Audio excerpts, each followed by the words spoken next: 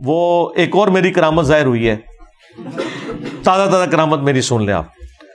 Neo TV के ऊपर जब वो फिरका वारियत पे प्रोग्राम हुआ था जियाउल्ला शाह बुखारी साहब आए हुए थे अहल की तरफ़ से। उन्होंने कहा था, मैं अहल का नुमाइंदा आलिम हूँ और मेरे वो प्याम पाकिस्तान में सिग्नेचर भी हैं, हमारे आपस में कोई इख्तलाफ नहीं, सारे हम एक जैसे हैं।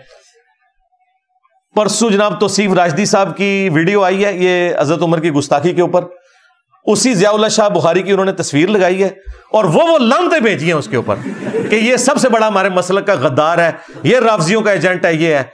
मैं कह जी शाह जी सलामकुम जवाब मिल गया।